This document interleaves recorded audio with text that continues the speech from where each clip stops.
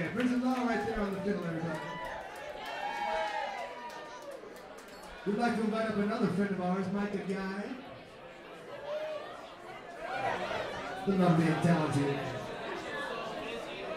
You know, we are very blessed here in Colorado to have so much talent. We do this last waltz show, a lot of you might know this, but every year we do a last waltz visit right before Thanksgiving, and uh, we are blessed to have so much talent here.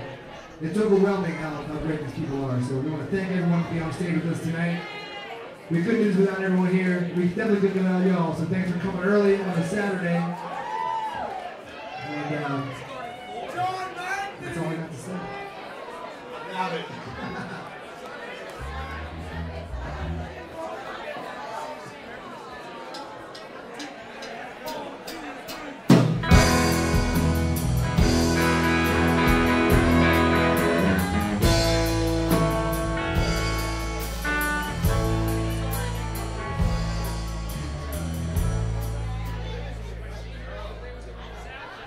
That's what we call a false start in the business.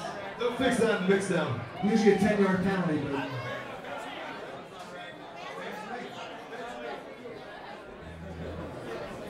Hey, where, where's the Men in Black pin when we need it?